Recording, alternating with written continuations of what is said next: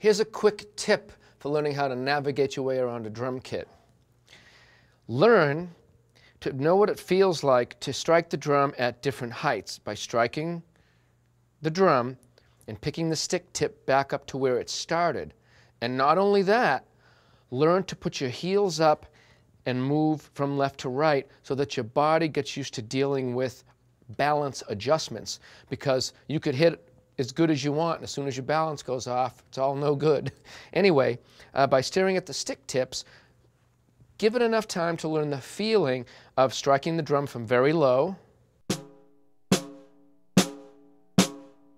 And it's really tough. It's tough to pick the stick back up from that height.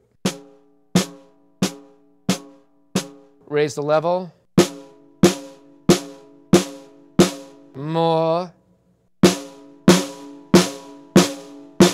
More.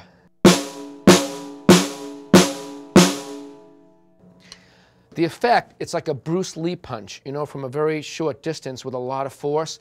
Once you have that, then flopping your arms around, leaves you a lot of room for error, and you'll always have that ability to strike the drum the way you need to, especially for recording these days. So good luck with it.